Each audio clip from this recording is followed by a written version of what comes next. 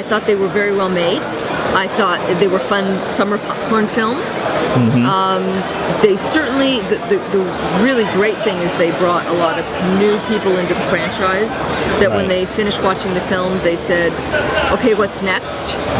And they discovered there was a whole universe before these films were made. And uh, we've been told by licensing and so forth that, it, that a lot of the people that came to see these feature films, which were gorgeous, um, really opened up a lot of new fans to the Star Trek universe, which is a wonderful thing.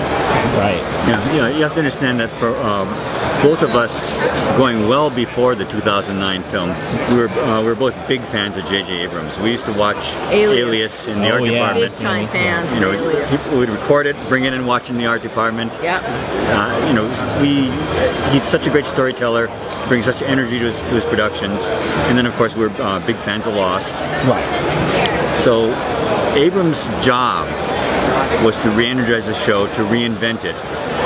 So did he do things differently than we would have? Absolutely, absolutely. Uh, that said, he has a great team. They did a great job. Uh, It was sure pretty to look at. yeah, we're, we're certainly jealous of the budget. Yeah. Oh yeah. Oh my gosh. when we made the feature films, when we were part of that thing, oh my gosh, it was not a lot of money. On Star Trek 6, uh, our budget was so tight, most of the signs on the Enterprise, the little uh, little informational signs, Right. those were uh, colored sheets of paper that I stole from the production office and Xerox the art onto.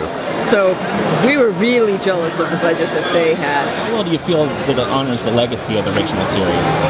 Like, I think they were incredibly clever in the way they constructed the reboot. That is, uh, by creating an alternate timeline, you're not discarding what came before. You're simply uh, you're, you're simply setting a new course. So for that part, I really appreciate what they did. You know, again, would I have done things a little differently? Absolutely. Right. But you know, the, their job was to do it differently. I think it's also really important not to lose sight of what's what Star Trek is. And Star Trek isn't about lens flares and flashy ships and so forth and so on. It's about characters. It's about the philosophy of the universe.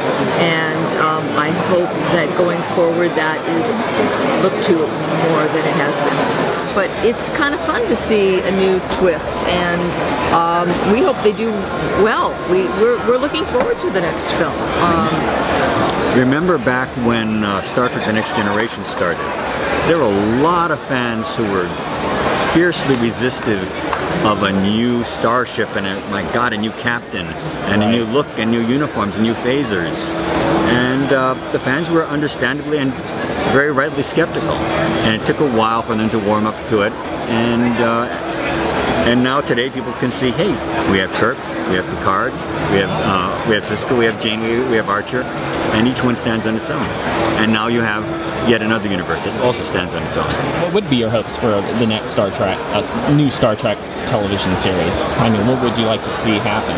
Well, one of the jokes, one of uh, one of the things that we like to joke about when, when you're doing something new, when you do a new Star Trek. On one hand, you want it to be fresh. On the other hand, you want it to honor what's what's been done before. It it has to have that familiarity, but it has to surprise you. So uh, what we're very fond of saying is uh, make it completely different, but exactly the same. And that's what Star Trek needs to be. It needs to be fresh. It needs to be new. It needs to break new ground. But it needs to be comfortably within the universe. How do you do? How do you do both? That's the challenge as a filmmaker.